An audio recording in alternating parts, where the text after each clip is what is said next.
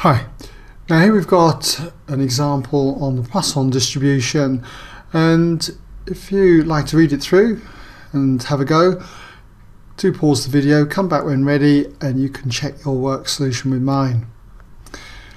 Okay, well what we have here is first of all we've got to write down the conditions under which the Poisson distribution can be used as an approximation to the binomial distribution.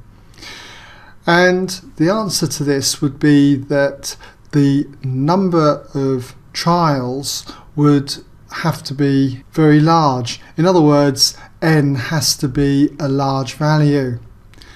And the probability of success, p, has to be small. So that would be the kind of answer I'd want to put down for that. Now, for the next part, we're told that the probability of any one letter being delivered to the wrong house is 0.01. And on a randomly selected day, Peter delivers a thousand letters. And in part B, we've got to use the Poisson approximation. We've got to find the probability that Peter delivers at least four letters to the wrong house and give your answer to four decimal places. Well, first of all, whenever I'm doing probability distributions, you should define a random variable. So I'm going to say let x be that random variable. It can be any letter you like. Make sure it's a capital letter though. Okay, let x be the random variable. We'll put rv for short. And that random variable is going to be essentially the number of, I'll just write number in brief there, okay, number of letters that are delivered to the wrong address okay? So we'll just say delivered to the wrong address. I'll just put wrong address okay? Cut down on the words a bit. But we need to define that random variable. And this distribution x follows is a binomial distribution. So we'd say where x, our random variable x, is distributed binomially and a binomial distribution has two parameters.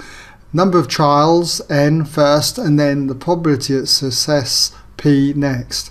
So the number of trials is a thousand okay? We're delivering a thousand letters and the probability of being delivered to a wrong address is 0.01 so we've defined our binomial distribution. What we've got to do though is use an approximation because what we want is find the probability that Peter delivers at least four letters to the wrong house. In other words, we've got to find the probability that x is greater than or equal to 4. And to do this, we're going to be doing 1 minus the probability that x is less than or equal to 3. Remember 1 would be all the possibilities but this is an infinite, this has got an infinite number of probabilities here. X can be 4, 5, 6, 7 and so on. So the only way around this is to do 1, all the possibilities minus the ones less than or equal to 3. That's 0, 1, 2 and 3. But to work these out with such big numbers here through the formula is not impossible, but uh, they did say use an approximation. And that approximation is the Poisson approximation. And we can use it when n is large and p is small. And we've got n is large, okay?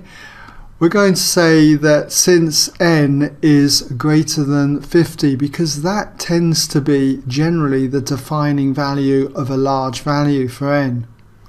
And p is less than 0.1 that is the general value for p that you tend to see when we can approximate this to a Poisson distribution. So we can say that x is distributed as a Poisson distribution approximately. Okay. Now we need one parameter in here and it's always the mean. And we can get the mean from a binomial model because the mean, often denoted by e of x, equals np. So for us, it's going to be n, which is 1000, times 0.01. That's going to give us 10, okay? So, in order to work out the probability then of x being greater than or equal to 4, it equals 1 minus the probability x is less than or equal to 3. What we can do is just use the cumulative distribution tables for a Poisson distribution. And I've got an excerpt of that set of tables here. If you've got the x follows a Poisson with a mean lambda, then the tables work out the probability x is less than or equal to any observed value. So what you do is you just check out lambda being 10, look under your observed value being 3, and you should see you get 0.0103 in your tables. So what we've got then is 1 minus 0.0103. Work that out and you end up with 0.9897. Okay,